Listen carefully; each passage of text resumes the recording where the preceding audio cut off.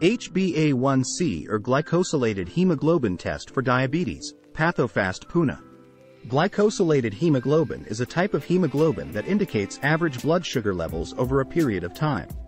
The normal range for HbA1c is 4 to 5.6%. Levels between 5.7 to 6.4% indicate prediabetes, and levels above 6.5% indicate diabetes. Abnormal HbA1c levels can lead to symptoms such as increased thirst, frequent urination, fatigue, and blurred vision.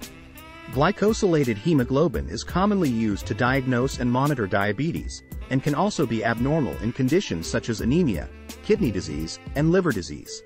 It is recommended to get tested for HbA1c every 3 to 6 months if you have diabetes, or if you are at risk for developing diabetes.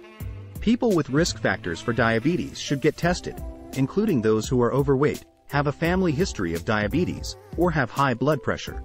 HbA1c is better than random sugar, or even fasting and postprandial sugar as it is not affected by what you ate. The test is done by taking a blood sample, usually from a vein in the arm. Learn more at pathofast.com.